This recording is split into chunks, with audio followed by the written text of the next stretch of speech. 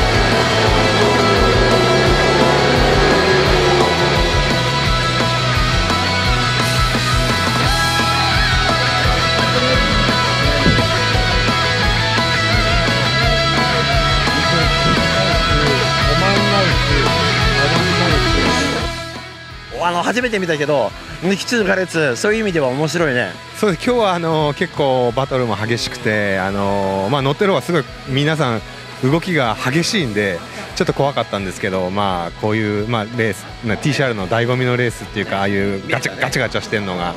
やってましたねみんな。で3つの車はどうだったの今日？まああのとにかく曲がらない。でまっすぐになって最終をいい感じでまっすぐになってアクセルを、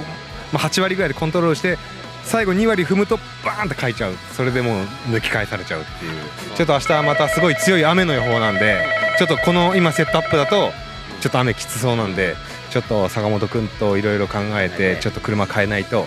ダメだなと思います。